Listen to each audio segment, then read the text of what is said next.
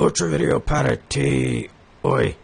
I wanted to describe how to use this MX cleanup tool on MX Linux, which is a Debian derivation distribution.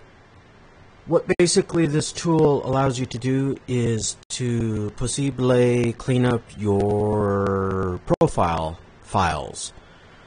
Now, it is called MX Cleanup. There might be a similar tool on other Linux distributions, however, do not quote me. On MX Linux, you also must log in with your root account. When you open up MX Linux from the Start Programs menu option, it will ask for your root password. So you're going to have to provide your root credentials, root account credentials. It's a pretty basic little utility. It what this is is just a graphical user interface for these commands that you would run manually. You would run, you would use the rm command in a command prompt, which I'm not going to demonstrate. It says free disk for user, select user. So there's a drop down menu. If you have multiple user accounts, then you'll be able to remove and clear some of those files for each user account that you have. I only have one. Now it's going to clean these. Let me reset it to default. Is there a reset button? Maybe not. I thought there was at one time. It's all good. Now the settings that you see on screen will not be the same as on your screen. If you open MX Cleanup for the first time, they will be set to something different. Okay, on the left hand side you have clean folders and then dot th thumbnails and then dot cache. And then you would place a check mark into each box or whichever one you want to clear. Clean. And the dot thumbnail and dot cache is a hidden folders. Those are hidden folders, plural, in your user profile. So you would go to slash home slash user as an example, and then you would want to turn on view hidden files and folders. And then it will be a dot and then thumbnail dot cache. It's going to clean your cache folder and it's going to clean your dot thumbnails folder if you select both. Now on we'll just go what left to right. Then you have clear apt cache. apt is a tool that allows you to install remove and also install updates on MX Linux, which is a Debian derivation Linux distribution. You could select old files, which would be older cache. Now, apt, that tool has a cache. You can manually remove it. You can go to the, what is it, apt, well, the command is apt get clean all, I think, or apt get clear all, or you could browse to that directory and manually remove with the rm command, which I'm not going to demonstrate. I'm going to choose all files. And it'll clear all of the apt cache files. Just the cache. And it's not going to remove any programs. It's not going to, you know what I'm saying? It's not, no. Just the cache for that apt program. Uh, which some people use apt-get, which is the same. apt and apt-get are the same tool, same program. All right. Now on the left-hand side, again, delete logs. You could select all logs, and then you could select don't empty, or you could select all logs. So the clear apt cache, you can only choose one. All right. And then same thing with delete logs. You can only choose one. I always have all logs. So it, there, I think it's var log. I could be incorrect, but I uh, but I believe it is the, the slash var logs for your profile. Now you can choose the logs older than. Now, if you select old logs, I'm not sure. I think you can still choose how old. Can you? Yes, you can. I'm, gonna, I'm not going to fiddle with that because I always choose all logs. However, if you were to choose old logs, then you could also choose how many days. So logs older than. So all logs older than seven days will get removed with this tool. All right, so I'm going to set back to all logs. Empty trash. You can manually empty the trash. What you would do is on your desktop in MX Linux, right click the trash can and then select, what is it, empty? Yes, empty. This tool is supposed to empty it. However, I've noticed it doesn't always empty my trash. It could be my computer. This is an older computer and the it's very finicky. The operating system is starting to have problems and so in the future I'm going to install a different operating system and I might make a video. I might make a video when I most likely install BSD, which is a Unix type operating system. And anyways, I digress back to this. So empty trash, you could empty trash for the selected user, which would be up here at the top. Select user to repair, or all users, which I had selected, or don't empty. Maybe you have some important trash. One man's trash is another man's treasure. you know what I'm saying? Maybe you have some items in the trash can or you're just not sure if you want to empty your trash. You can select don't empty. I'm going to choose all users, although I only have one user for now. And then this also trash older than 30 days. Oh, you know what? That's what it is. Okay, I just learned something. I think the reason why my trash can wasn't emptying all the time is because I did not have any trash items older than 30 days. That could be it. And then also my logs. They, they it may only even if you select all logs, it may only delete. Yes, I believe so. This variable. I wish it, there was more explanation, but there might be a a page. There might be a MX Linux page specifically for this tool, but I'm not sure. I just learned how to use it on my own. Okay, so that makes logical sense. What I think what you would do is you would select logs older than zero days. That'll delete everything. And then the same thing with the trash. You would select zero days. I'm going to set it right now because that's most likely what it was. All right. But I'm going to leave the all logs and all users. Okay, now finally, you can run it now. Now, or you can schedule it. Now, you can schedule it where it would not automatically clean. I, I think it creates a cron job. I'm pretty sure it probably creates a cron job, which I'm not going to dis discuss what a cron job is. Uh, just quickly, a cron job, I'm not going to get into great detail. A cron job is just an automated job in Linux. You can also create it with a command line interface, and it just schedules tasks for you. You can basically almost any program in Linux you can set it to it just automates it. It'll run it at a schedule. It if whatever you tell you. I'm not going to discuss it any further.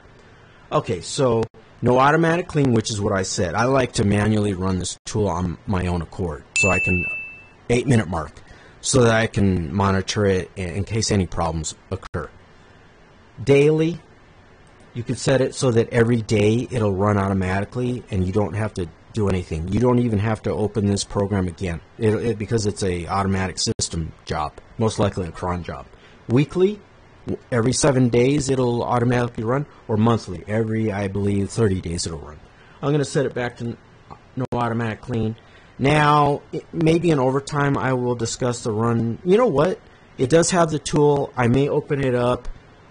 I may have to change something in my encoder to show it to you. If not, I may make another video describing how to use the Run Disk Usage Analyzer. Okay, I'm going to click on Apply. Now, if you set it a schedule, I think you would click Apply and click Close, and then it will run whenever it whenever you schedule it. Which it doesn't it doesn't look like it allows you to change the time. So I'm not sure when it'll run, but I wouldn't worry about it. Just click apply so that these changes are saved. That's another thing you want to do. Okay, so I'm going to click on apply, and it's going to run actually right now. Cleanup command done. 677 megabytes for freed. And that's not an exaggeration. Let me make sure my encoder... Oh, it's not capturing that part. Oh, let me see if I can quickly make a change here. I don't know if I'll be able to. So that you can see that I'm not exaggerating. Oh, program. Oh, I already have disk usage analyzer. You know what? Okay, I'm going to quickly make a change. And since I do not free my, freestyle my videos, I'm going to see if I can select that.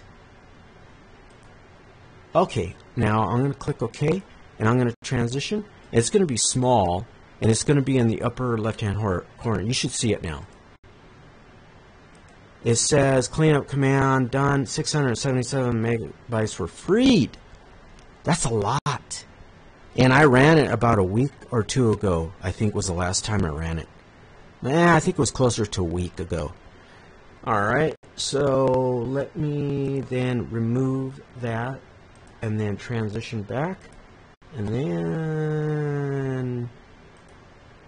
Okay, back to MX Linux, cleanup, and then transition. Okay, I already transitioned. Alright, cool. Alright, so now I think I'm going to go ahead and, well, I'm just going to show you this usage analyzer. I don't want to go into any details.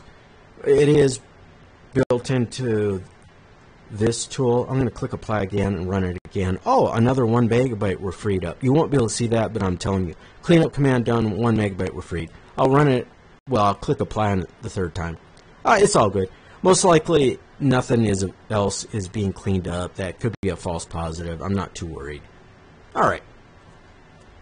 Now I'm going to click on run Disk usage analyzer, and I think my encoder should capture it.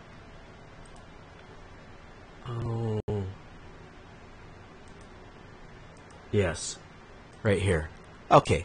Now, I'm not going to discuss this in great detail, but this tool is available via the MX Linux. Linux. Time for me to quit recording this video. MX Cleanup. I'm not going to go over any of this. This will be a separate video. I'm not sure why MX. You know what? It could be because you notice that there, your hard drive space is filling up. Now, as you can see, you can scan. It shows you your devices and locations. Now, without demonstrating, it shows you your hard disks. I have multiple hard disks, obviously, and I and it also shows you your home folder, which is which was the user account that I used in MX Cleanup. It's the same user account. The, the slash home slash user was the user account in that drop down menu when where there was only one user account available.